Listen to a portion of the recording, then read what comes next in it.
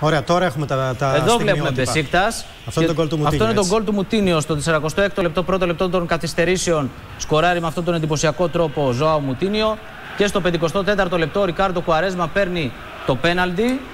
Σε αυτή την προσπάθεια ο Πορτογάλος θα κερδίσει το πέναλτι. Εύστοχη εκτέλεση, το τελικό 1-1.